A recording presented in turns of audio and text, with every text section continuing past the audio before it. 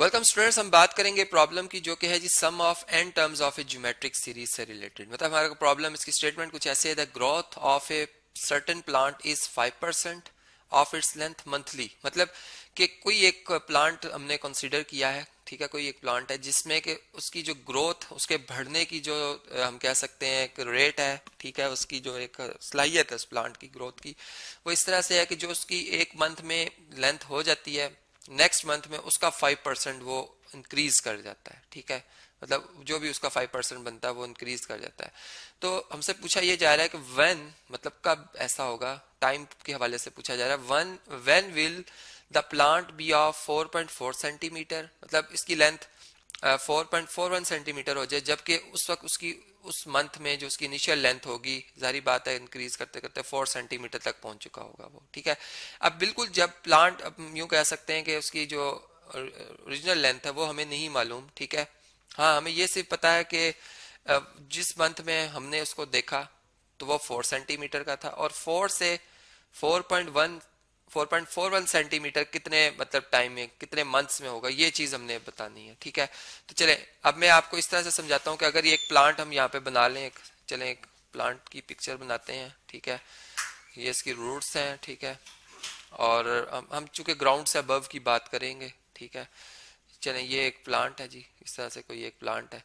और इसकी जो हाइट है मैं यूँ कह देता हूँ कि ये कितनी है जी? फोर सेंटीमीटर ठीक है? अब मैं मतलब इस इस कंडीशन के हवाले से बात कर रहा हूँ।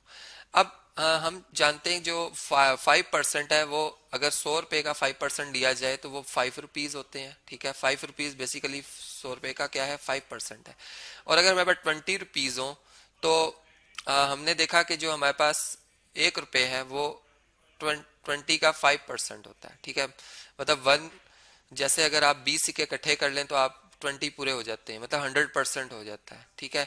इसका फाइव जैसे ट्वेंटी अगर आ जाए तो वो कंप्लीट हंड्रेड बना देते हैं। उसी सेंस में मैं बात कर रहा हूँ मतलब इक्वलेंट रेशियो के हवाले से मैं बात कर रहा हूँ, ठीक है?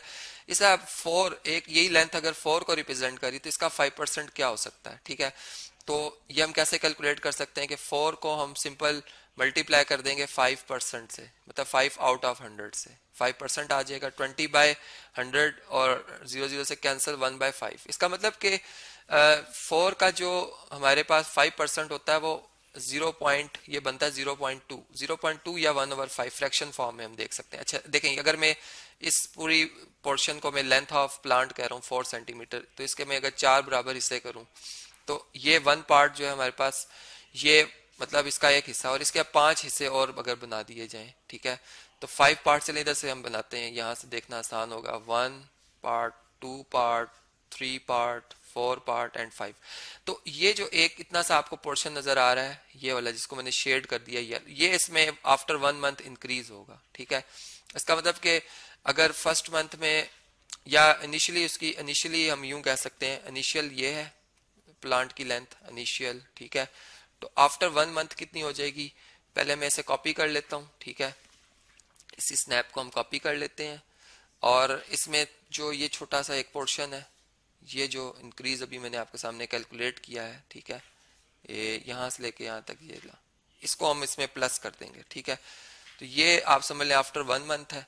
और इसी तरह से अब सेकंड मंथ में इस टोटल का, इस इस टोटल का जो फाइव परसेंट बनेगा ना, वो हमने देखना है, ठीक है? मतलब ये भी इसमें एक बात है जो कि समझने वाली। ये नहीं कि कांस्टेंट नहीं है फाइव परसेंट जो कि करंटली उसकी लेंथ होगी, उससे वो फाइव परसेंट इंक्रीज करेगा। ये इस तरह से क्वेश्चन की स्टेटमेंट बताई गई है, ठीक है? तो इसका मतलब कि अब हम अगर देखें तो हमारे पास फोर का जो फाइव परसेंट बन रहा है, वो हमने देखा था, कितना बना था जी? फाइव इसको जब मल्टीप्लाई किया था ज़ीरो पॉइंट टू बना, ठीक है? इसका मतलब फोर में हम ऐड कर देंगे ज़ीरो पॉइंट टू तो ये बन गया फोर पॉइंट टू ठीक है? सेंटीमीटर में, अब फोर पॉइंट टू सेंटीमीटर का पहले हम फाइव परसेंट निकालेंगे, ठीक है?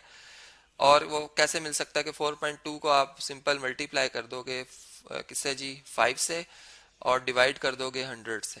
तो ये बन जाता है zero point two one zero point two one और फिर 4.2 में आप ऐड कर दोगे 0.21 तो ये बन जाएगा 4.41 सेंटीमीटर जो कि सेकंड मंथ में हुआ। जो कि फोर सेंटीमीटर हम लेके चले तो वन मंथ और आफ्टर टू मंथ ये कंप्लीट होता है। ठीक है? तो ये तो हमने मैनुअली सॉल्व किया इस प्रॉब्लम को। ठीक है? अब हम इसको एक सीक्वेंस एक सीरीज़ की शक्ल देते हैं ऐसे कि हमने, हम हम यू सपोज़ करते हैं कि जो प्लांट की ओरिजिनल लेंथ थी, ठीक है? जो कि जब स्टार्ट पे जो भी लेंथ होगी इसकी, ठीक है?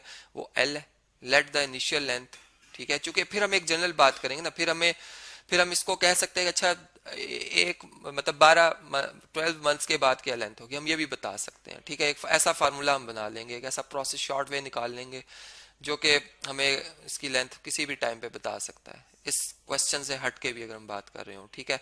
इसलिए मैंने एक वेरिएबल लेंथ ले ली है एल जो कि है, और at the end of one month ठीक है? At the end of one month one month इसकी जो लेंथ है the plant the length of plant the length of plant is कितनी हो जाएगी?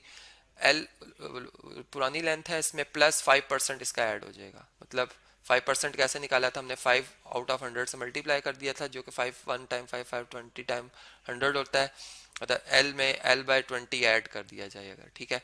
ये कैसे ऐड होगा? डिवाइजर सेम बनाने पड़ते हैं हमें। और डिवाइजर सेम, कैसे बनाएँगे? ट्वेंटी से इसको मल्टीप्लाई डिवाइड भी कर दें। तो ट्वेंटी और ट्वेंटी एल ट्वेंटी एल और वन एल एल हो जाए। Twenty one times L over twenty. ये हमारे पास after the end of one month इसकी लेंथ बनी है, ठीक है? After after the end of end of one month ठीक है? ये हमारे पास आई है। अब इसके बाद इसी तरह आफ्टर द एंड ऑफ़ जो हमारे पास सेकेंड मंथ है, ठीक है? यू मैं लिख देता हूँ length at the end of at the end of second month second month ये क्या होगी? Uh, ये इक्वल टू हो जाएगी देखें इसकी करंटली लेंथ कितनी twenty one times L over twenty अब इसका जो twenty percent sorry five percent बनेगा पहले हम उसको कैलकुलेट भी कर लेते हैं। इसको मतलब इस फाइव ओवर हंड्रेड से मल्टीप्लाई कर देंगे ठीक है? तो ये इसको अगर हम देखें ये फाइव फाइव से फाइव ट्वेंटी मतलब ट्वेंटी टाइम हंड्रेड होता है ठीक है? ट्वेंटी आ जाएगा। अब यहाँ पे भी अगर हम इसका डिवाइजर अगर सेम बना लें, ठीक है तो ये हमारे पास, ये हमारे पास, बल्कि twenty one over L twenty one times L over twenty इसको अगर कॉमन ले लिया जाए तो यहाँ पे वन रह जाएगा, यहाँ पर यहाँ पर क्या रह जाएगा वन ओवर ट्वेंटी रह जाएगा, ठीक है?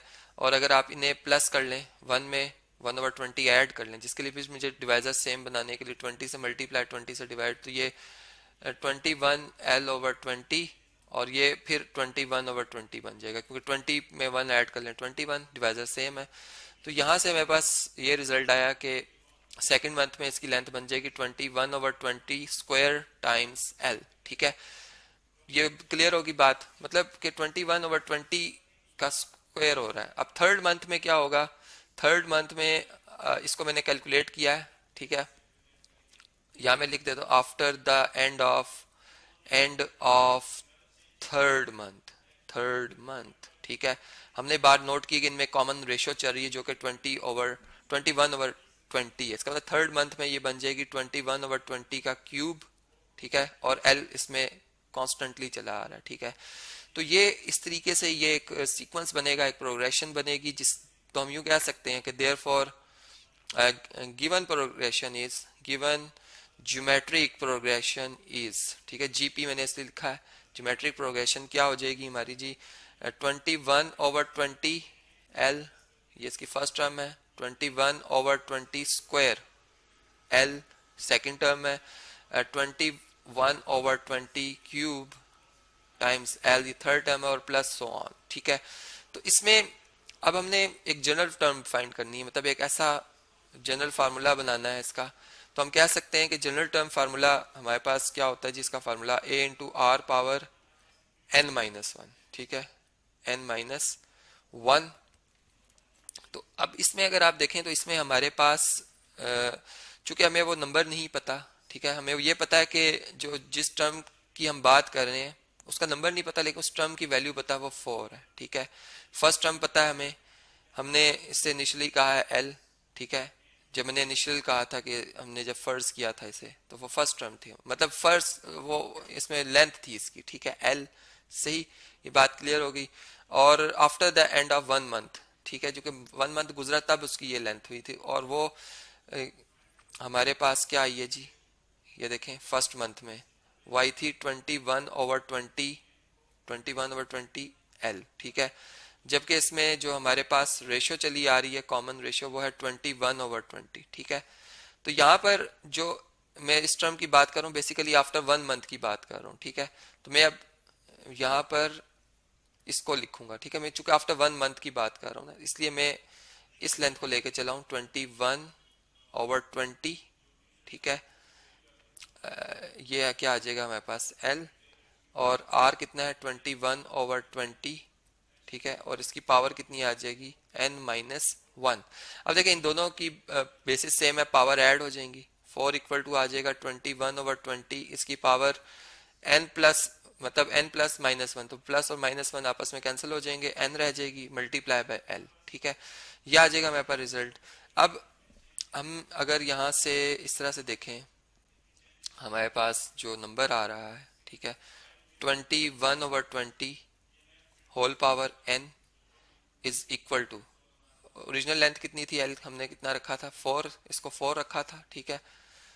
और, जो जिस लेंथ की हम बात करें वो कितनी थी? 4.41 सॉरी मैंने यहाँ पे फोर लिख दिया था, ये 4.41 मतलब जितनी लेंथ पहुँच जाएगी, वो हमने बताना था बेसिकली कि कितने अर्से में ये 4.41 हो जाएगी।